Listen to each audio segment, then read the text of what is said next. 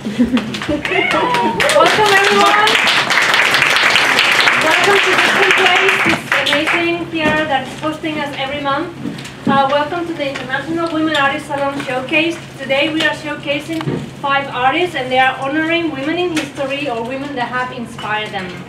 We'll have first coming on stage Vanessa Morrison.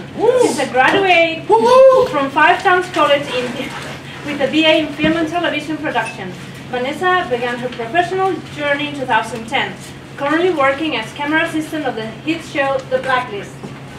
She works to maintain Kickstand Productions along with her parents.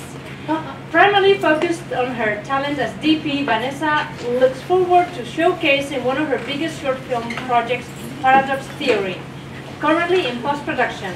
Nice. Welcome to Vanessa.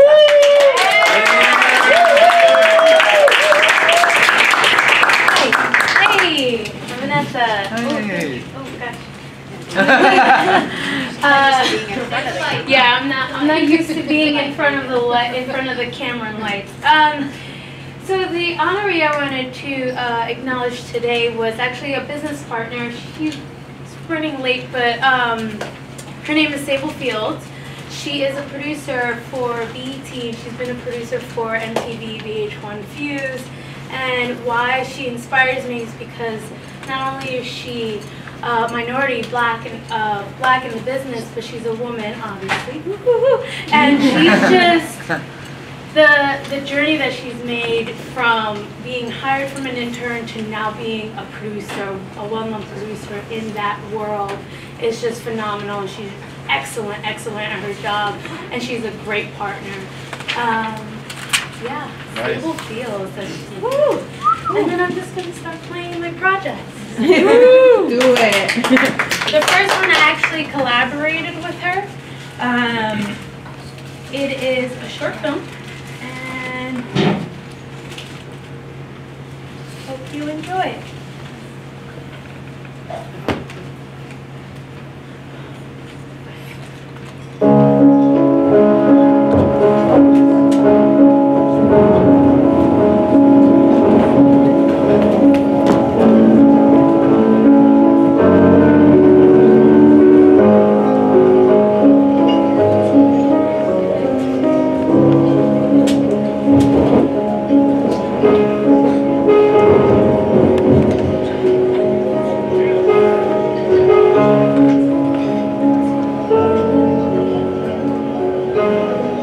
Cheating on you.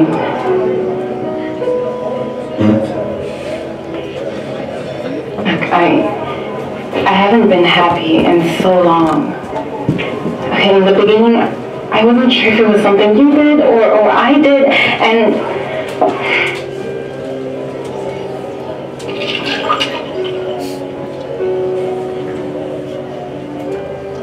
I haven't been happy.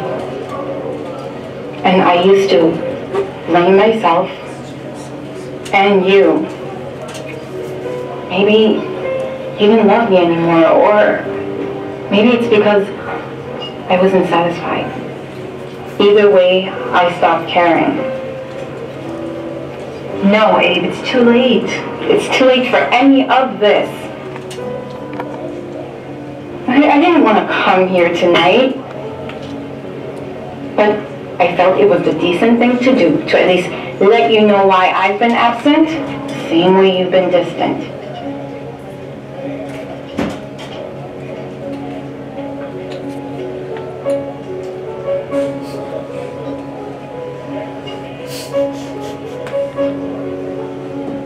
Are you satisfied? You must be. I mean, why else would you have done it? You must be, and I know you weighed the consequences out beforehand. You're way too precise not to. I'm happy. Now, I am. She makes me happy.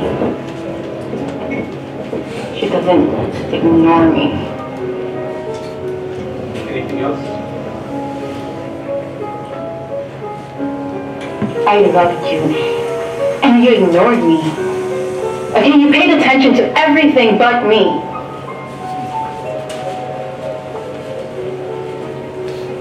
But that's the past. Now, I'm content. She's insatiable. And she tastes like love shed. Satisfying.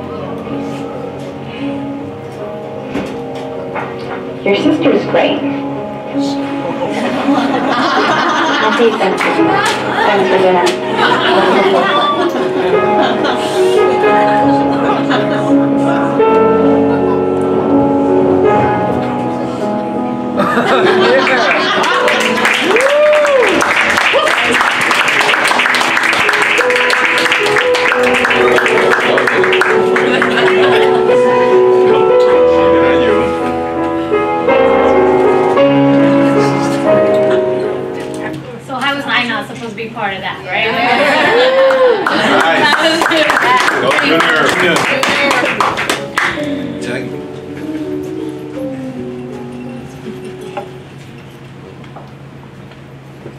then, second piece. Second piece is actually, uh, I like to call it um, an expression piece, an expression video. It's uh, about the body movement, this what you can represent with your body, like your energy, your soul, your being, and um, this one I should have spoke a little bit more about that with the other one, but it's okay. Uh, this one was directed by another partner of mine, and he came up with this idea with his fellow friend who choreographed it and is the dancer in this. And I said, why not? This sounds amazing, sounds fun, it's different, and I hope you enjoy. I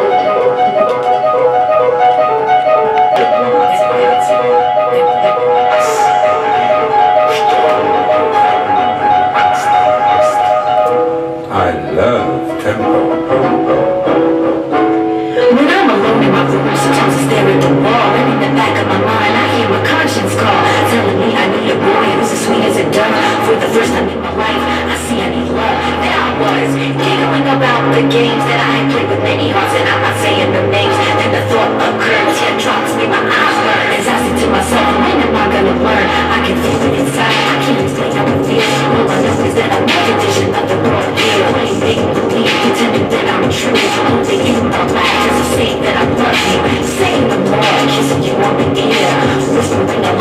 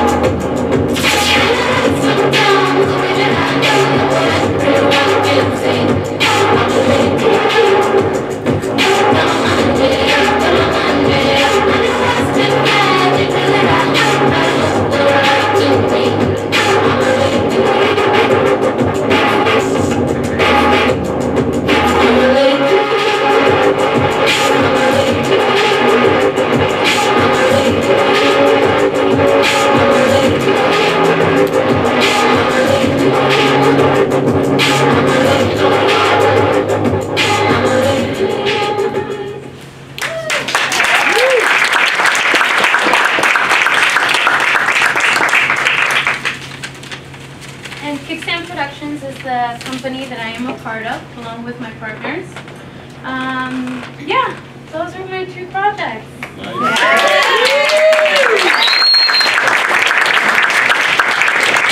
Thank you, Melissa. Thank you. Picture, picture. Yeah. Um, our next uh, guest and artist is uh, Sarah Sutliff.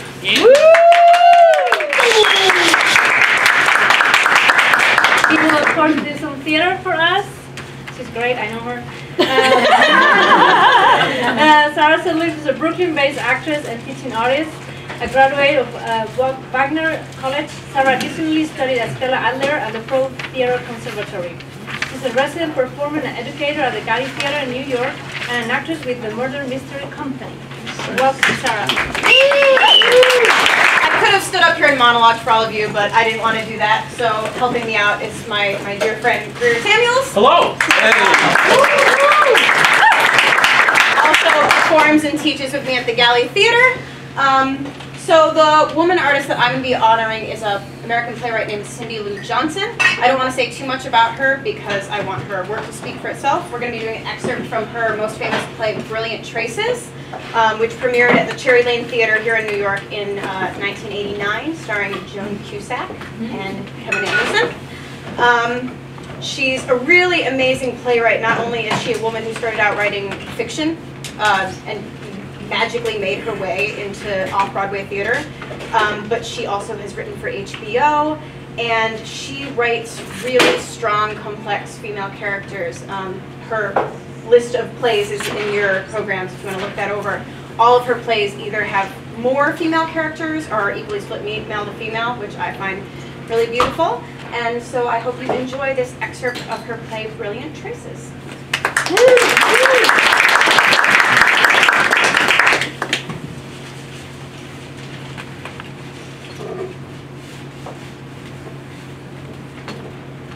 So, um, how come you're not getting married? What? Well, what happened?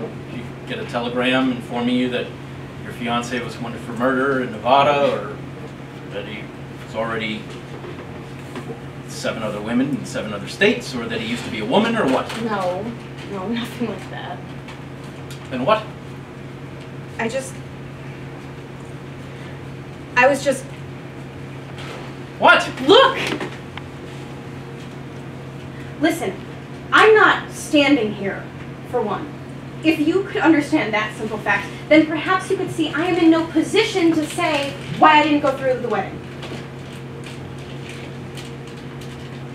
You're not standing here. No, I'm not. You are just in no position at this time to say why you didn't go through with the wedding because you're not standing here. Yes. You're not here. No. Actually, no. You're just not here. Okay. That's that's fine. That's all right. Yeah, that's great. Uh, you seem to be here to me, but you know, whatever. Just just one thing, okay? And I mean you you don't need to be here in order to tell me this, okay? Just tell me from wherever you are, okay? Just tell me what happened. What do you mean? I mean, you know, what happened? You arrived here in a wedding gown, so I assume you were fairly close to getting married, on the verge, so. What happened? Just tell me, how do you go from being on the verge to my door? I'm not asking for anything complicated. I'm, I don't want to know why you left, okay? I don't need to know any of that. I just want to know how, you know? How you left? What, did, did you stand up and say, uh, I've changed my mind, I need time to think, I... I No! don't wanna do that"? No? No, I didn't stand up and say anything. Then what did you do? I had a problem with my feet.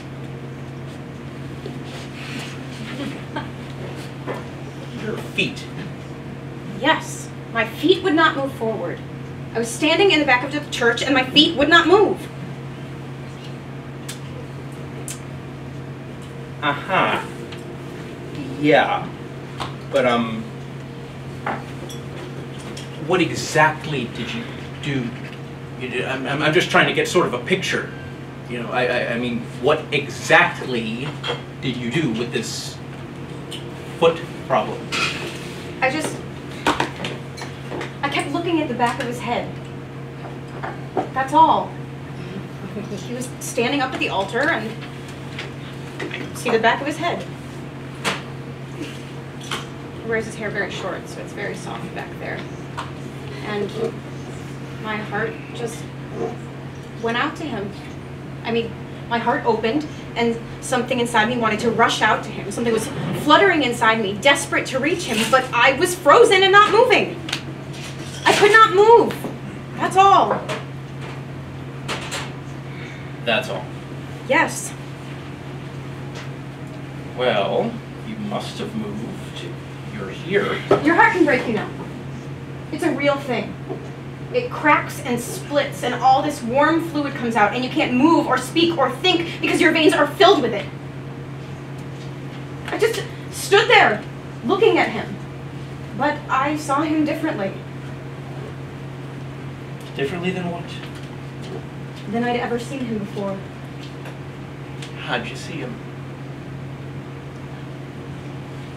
Disconnected,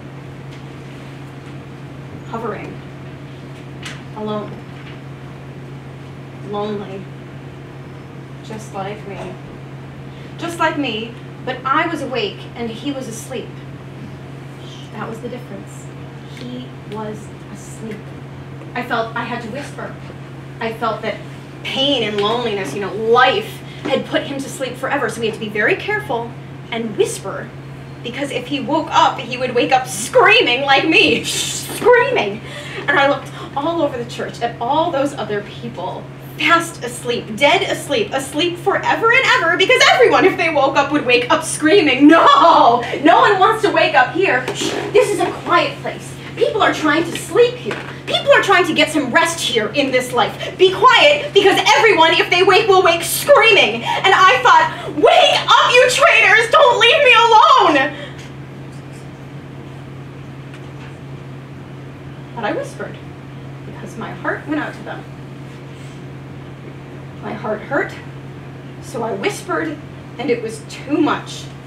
Something was exploding out of me, and all the while I was whispering. I knew I was in trouble. I thought, I'm gonna be sick. Right here, right now. I will be sick. So I just took four or five steps backwards out of the church, just into the air. But it was so hot and I was so dizzy. So I went to my car just to sit down and, and then I thought, I'll just drive around the parking lot just so some fresh air will blow on me. But once I started driving, I couldn't stop. I was just blasting ahead. Don't crash, don't crash, don't crash into space! And then my car died. And now I'm here. I see. That's how I left. Yeah. Okay. Yeah.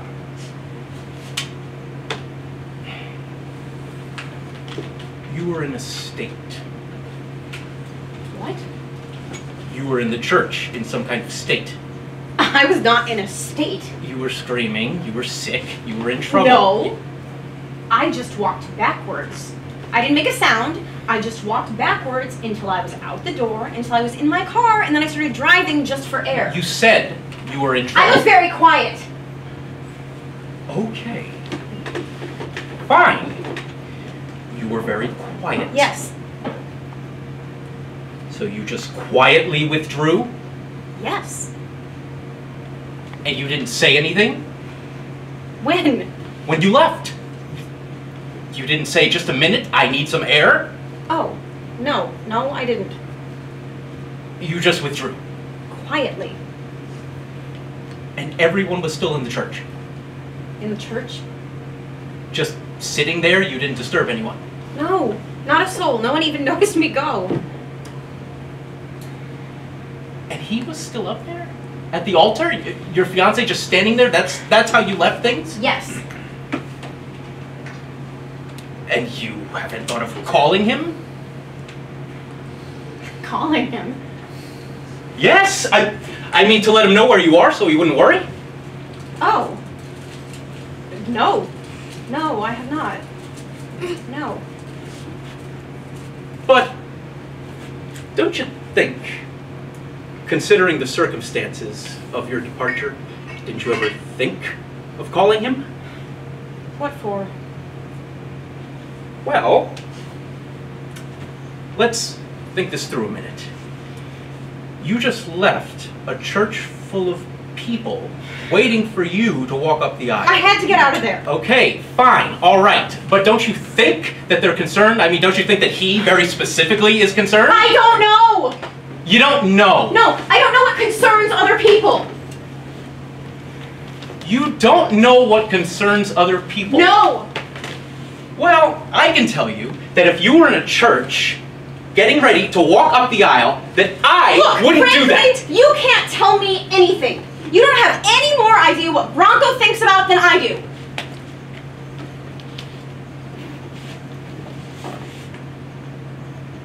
Bronco? Hmm. It's his nickname.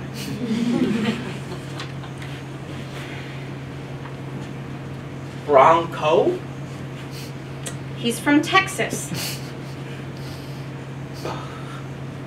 What's his real name? Walpole. Dude.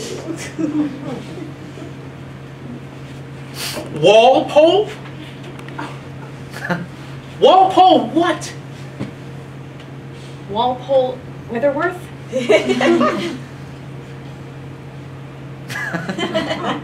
I. You almost became Mrs. Walpole Bronco Weatherworth? For Pete's sake.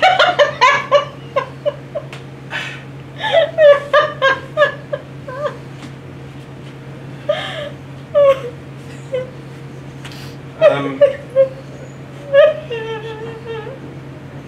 Um. Rosanna. I messed up. Oh, I messed up real bad. Well, I mean, I'm sure you can. Whatever happened, you, you can. I'm a weak person. I'm a very weak person.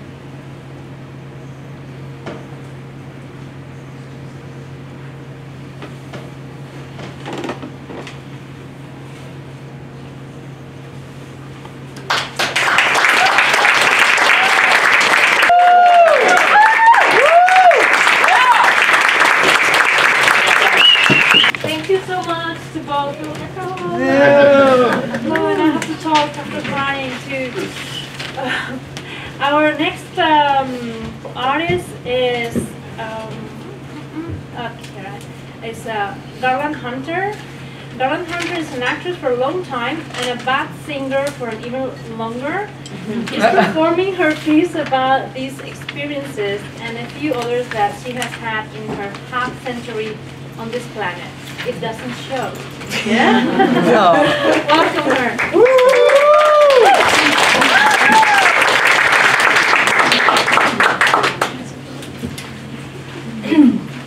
It's a small room, so I assume you can hear me. Um, it's really exciting to be back at Dixon Place, especially as it's Women's History Month, or as we used to call it in the 1970s, Her Story.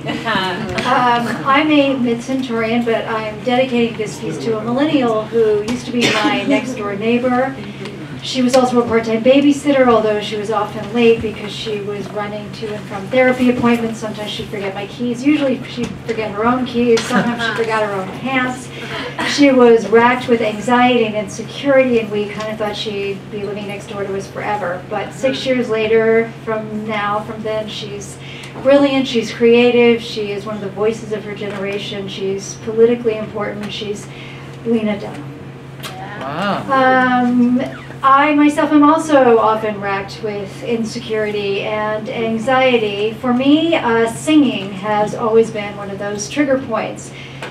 I take you to 1978 John Dewey High School somewhere in Coney Island. Um, I'm asked to audition for the lead in Bye Bye Birdie, the musical.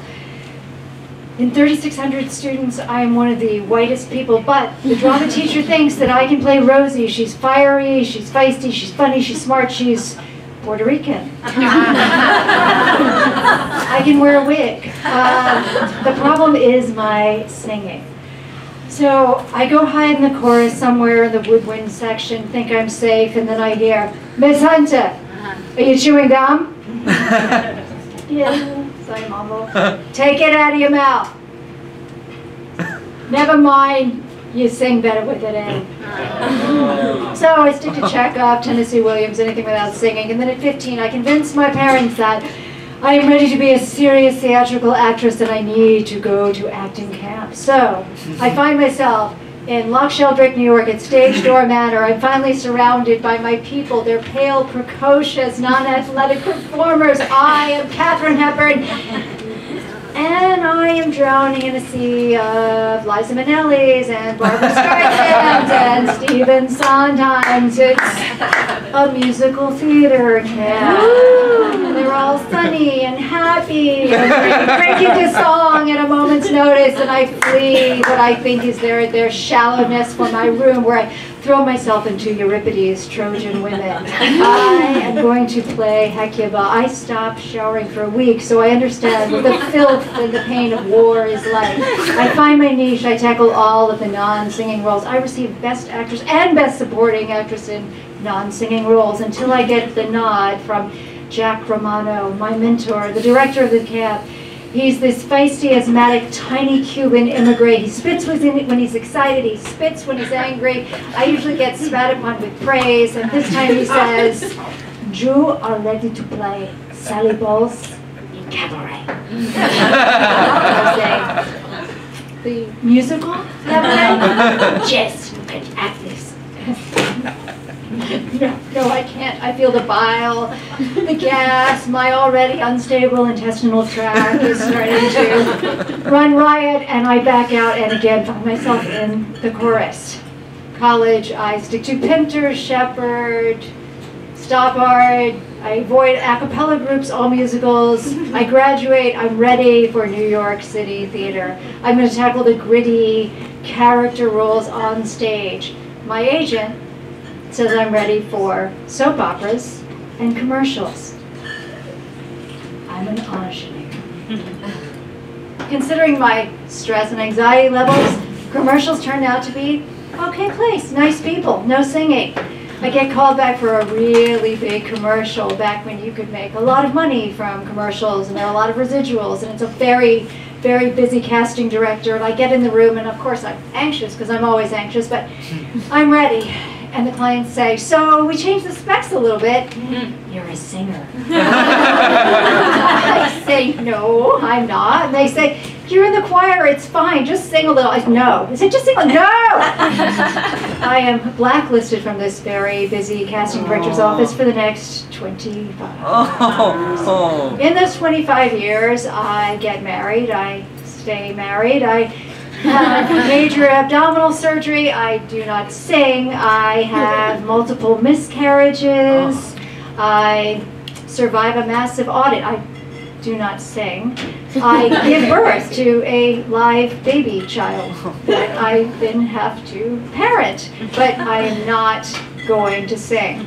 About two years ago, some friends of mine, they organized a harmless karaoke night. They're nice people. I like them. I like hanging out with them. But I want to be clear, I was not going to sing. I said, I'll drink, I'll heckle you, I'll help you choose songs, but I'm not singing. A couple weeks after that, I'm finally naked in my bathroom for the first time after a very long, cold winter, and I noticed this a lump. But it's probably no big deal because breast cancer doesn't run in my family. My mammogram was fine. I've got lumpy breasts. I'm anxious, but I mean, I'm always anxious. So at least I can go to the doctor and get another Ativan prescription. So I go to the doctor for the routine and visit and I get the Ativan prescription and I also get a list of surgeons' names and hospitals and possible procedures and I'm fast-tracked for a biopsy and then in the middle of all that madness, it's karaoke night. Hmm. I figure, well, at least I can get drunk and hang out with my friends. One vodka tonic later, and I'm singing my ass. and I suck. but I'm belting out Van Halen, Van Morrison, Patti Smith, Violent Femmes. I'm terrible. I'm grabbing the mic when it's not even my turn. but my anxiety's gone. Awesome. Two years later, two new boobs later, I am still singing, although in the privacy of my own home, I'm still really, really bad. My dog tolerates it very well. My husband and child, not so much. My child, who has perfect pitch, says, Mom, please stop. But you know what? I don't. I go to the roof. I take the dog with me. I find out that singing is good for you. And not only that, apparently show tunes help fight dementia. Oh. So I tackle sun and then I get caught. My son hears me and he says, Mom, yeah, keep going. I do. I finish the song. I get critiqued. I'm still really bad. Next day, we're walking to school, 8, 10 a.m. in the morning, Canal and Greenwich Street, when I usually launch into a 15-minute diatribe about how he needs to pay attention, he needs to finish his lunch, he needs to listen to the teacher, he needs to focus, he needs to breathe deeply. If other kids start to bother him, it's the usual harassment. This time I throw Journey at him. he doesn't recoil, he joins in. For the next 15 minutes, we're belting out Don't Stop Believing. I'm critiqued again because I'm still really, really bad, but it feels really good. And we're bonding, and I'm not nagging him, and I'm not anxious, and I'm not putting my anxiety, anxiety onto him. And it took me 35 years to realize that these musical theater people were happy.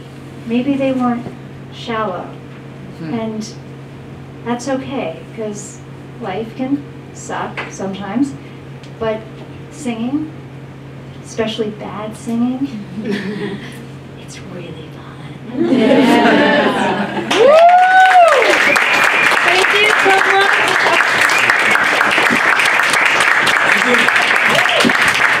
I can totally relate to her.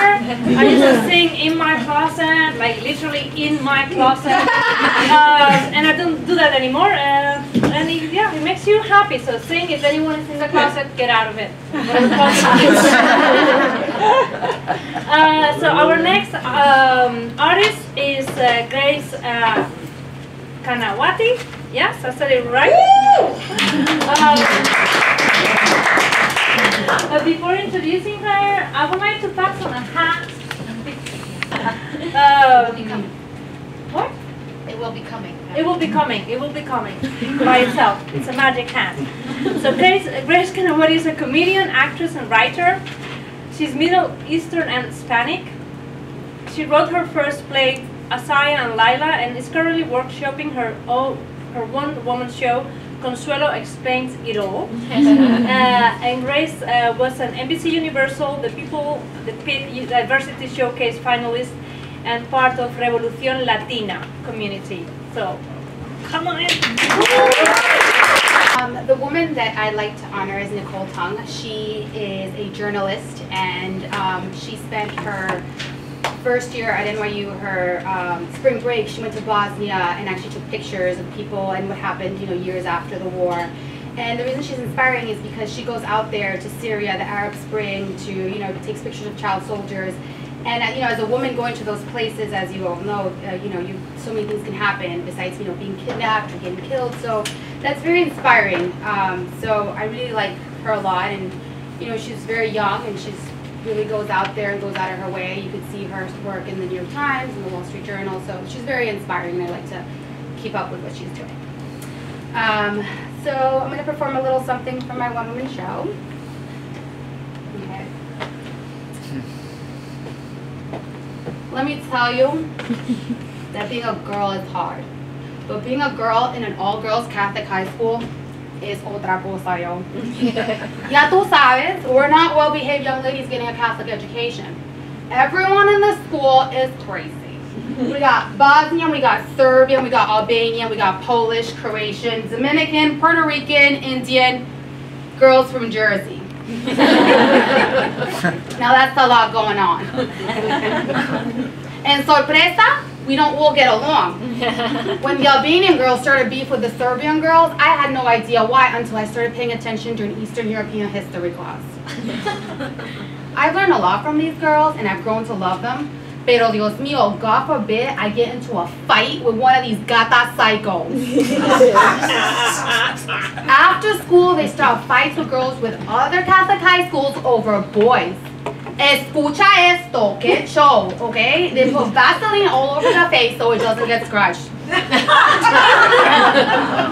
Yo no me arruino la cara por ningún muchacho. I don't believe in violence, especially over a boy. But what can I say? These girls keep me entertained. Now the teachers in the school son otra cosa. Miss Rose, a young Irish lady who is obsessed with her Puerto Rican boyfriend. Seriously, lady? We're all mostly Puerto Rican in this class, and the only thing our Puerto Rican boyfriends give us are headaches. Pero ya tú sabes, she's all excited with her Latin lover. Ay, mommy. Just you wait.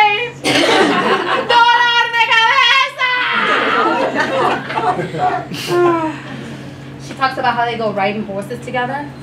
Meanwhile, we've been on Macbeth for five weeks now. Coño, she should teach us then. Mr. Brand is obsessed with Honduras. I think he wants to be that dude from a mosquito coast or something. No sé. Mr. Angel, our math teacher, likes to stand at the bottom of the stairs and stare up girls' skirts. Pero qué nasty, eh? Ese sí que es un asco. Nobody likes to get tutored by him. this is why I don't believe in all girls schools because perverts and girls go crazy without boys. we have an all boys brother school. They call us hoes on a hill. Our school's on a hill. You know, whatever. I don't care what those stupid boys be saying. Like, they're not even cute. Which reminds me, I gotta find Tweety, my boyfriend. No contesta su teléfono. He ain't answer my calls. I even called his mom. You think I'm gonna stand for that? Seriously? He probably up there with some sucia. With some hoe. Are you kidding me? Leaving me for some nasty girl from the Bronx. Not that there's anything wrong with girls from the Bronx, but are you kidding me? Why was so stupid? I don't stand for this. He knows I don't stand for this. Whatever. I assume me. I ain't one of those girls who be crying for no man. I assume me. Did I tell you? I found this file that says girls who code. It's a summer camp that teaches girls how to do stuff on the computer free, gratis. Yeah. Hmm. And you know what? Everybody in my neighborhood is always putting me down, putting doubt in my head. They think I'm going nowhere in life. But sabes qué? I'll show them. I got into the program, and my friends thought I was stupid because I spent the whole summer indoors instead of going to the beach. Some of these girls aren't even going to college. I'm gonna get a scholarship and I'm gonna go to college. I'm gonna be one of those girls who code. because after that summer camp, Consuelo se puso las pilas. Computer science, get ready, because I'm about to take over. Okay? Yo, that's the bell. I got a jet. Because after school, I got to hustle to make save up money for college. My friend Beatrice just hooked me up with this new gig. She said, all you got to do is clean this dude's house and you'll be making mucho mm-hmm. dinero. I'm like, yes! Only thing is, I hate to clean. it gets my nails are busted and then I feel busted and I just don't feel good. Tweety always gives me money for my nails. Pero como no lo encuentro, I gotta take care of myself. Ese tonto.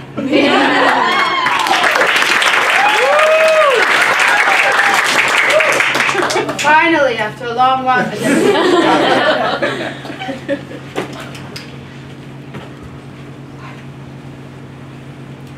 Hello, I'm here to clean. Hello, are you from New York City? Like, born and raised? Not Long Island. Uh, yes, I am. So, uh, what do you want me to clean for you, Poppy?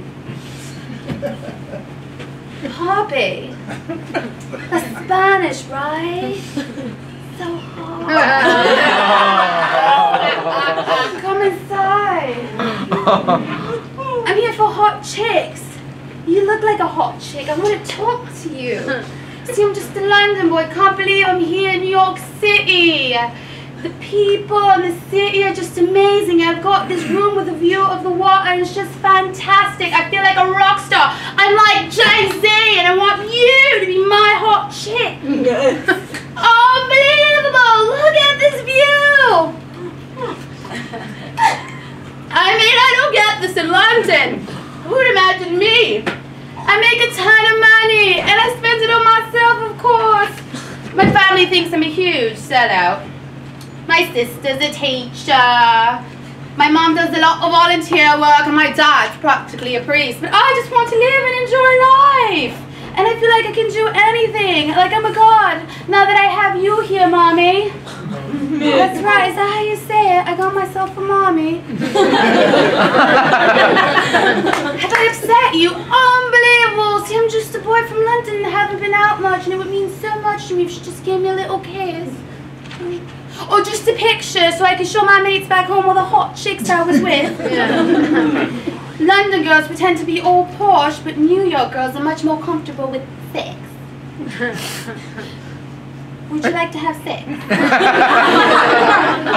because I'd really like to have sex with you. I mean, only in New York do you get a house cleaning with a happy ending with a housekeeper dressed like a Hispanic schoolgirl.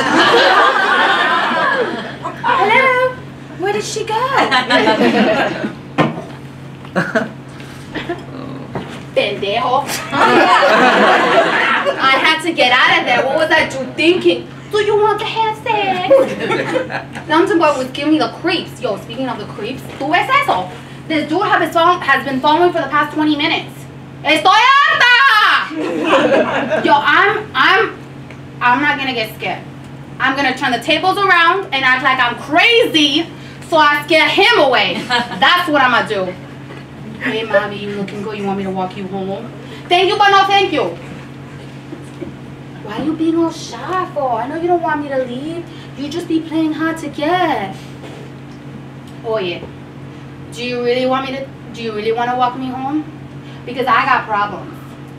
I like to kill people. Have you seen the show Dexter? Eso no es nada. I cut bad people into little pieces, roll them up in rice, and sell them as cannibal sushi.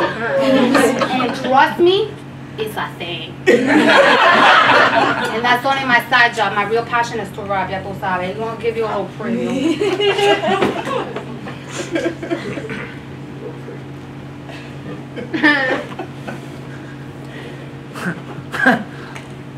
Here I go, here I go, here I go. Okay, girls, what's my weakness to kill? Okay then, kill it, kill it. Mind my business, yeah, I looked around and I couldn't believe this. I swear, I said, nobody my witness. I stabbed the dude, now I feel kinda, ooh, wicked, wicked. Had to kick him. Got shot, so I asked for forgiveness. Scared, no, that don't make me see what I want, cut his throat, do it swiftly.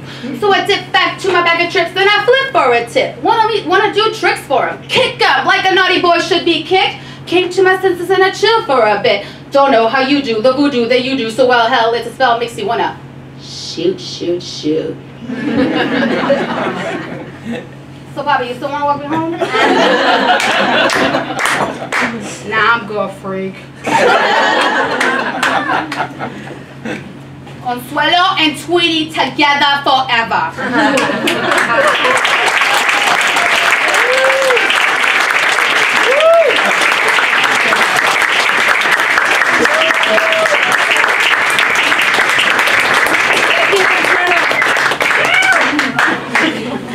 Now, can I?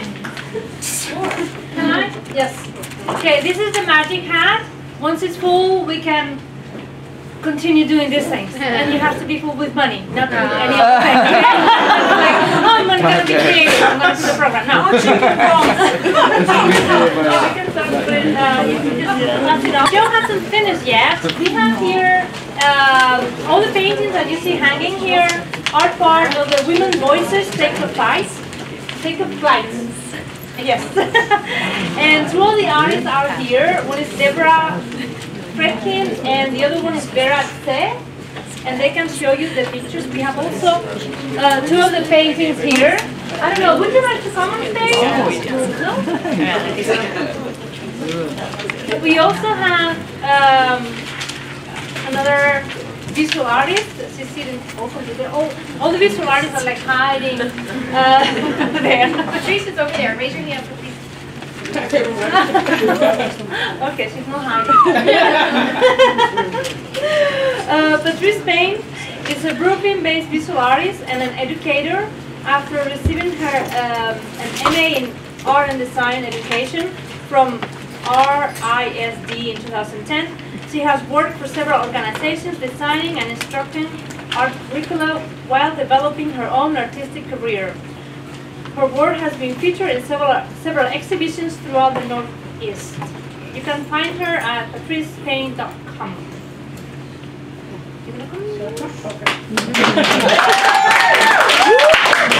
Thank you, um, thank you for the International Women's Artist Salon for having me present in Dixon Place. Um, I want to say that the woman artist that I honored tonight, tonight is um, Elizabeth Catlett. Um, she was a graphic artist, printmaker, and a sculptor.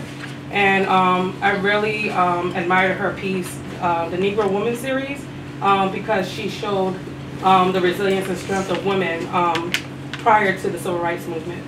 And that's something that I envision in my own work.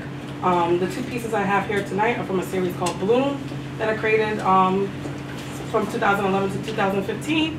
And um, the first piece in the front on the on the stand um, is done in watercolor, um, and the second piece behind it is done in pen and pencil. So if you have any questions, you can feel free to ask me after the show. Thank you. Thank you everyone for coming. So you can now go around and mingle and talk and have some drinks. Leah will be very happy to help you with that. and ask the artists about their work they, because we love to talk about ourselves. I didn't talk about myself. So I am Patricia Cardona Roca and I'm hosting tonight and I'm part of the International Women Artists Salon and helping them with some things. I think your cases. Heidi, come here. She's the founder of International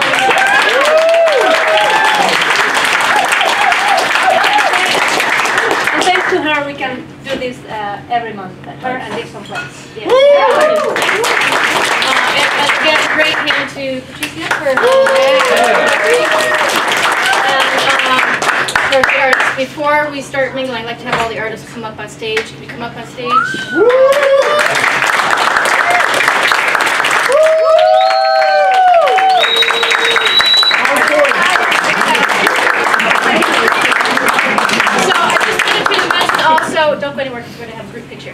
You're up here now.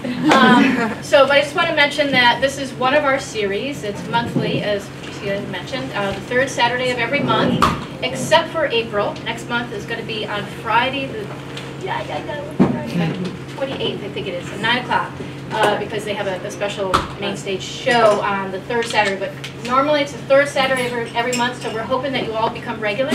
This is, I think, our biggest house so far, so, woo!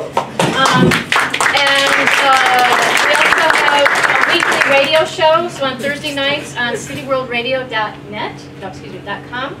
And um, we feature a woman-owned or founded or run arts organization, group, or special project, as well as a 10-minute individual artist, any discipline.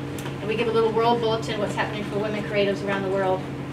Uh, and then we also have uh, what's called Salon Solo, which is a, a visual art exhibition series that's ongoing at our other partner venue at Producers Club up on West 44th Street at 9th Avenue. And uh, right now there's a group show going on, um, but normally it's a solo show that we like to try to give a, a visual artist uh, a solo show in New York. So those are our three main programs. We have many other things going on. Uh, Emma here is one of our visual artists, uh, who's also a Producers Club.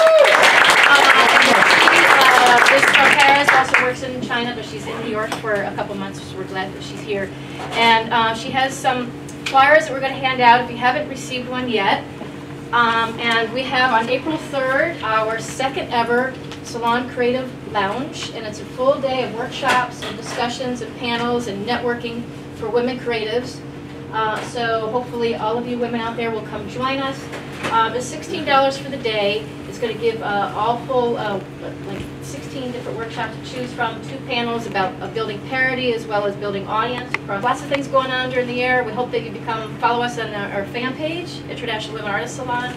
Follow us on Twitter, Women Art Salon. If you'd like to partner with us, become a member, sponsor us, um, in kind or in cash, um, send uh, an email to me, which is on the back of the program. Um, So thank you again for being with us here tonight. Thank you to all our artists.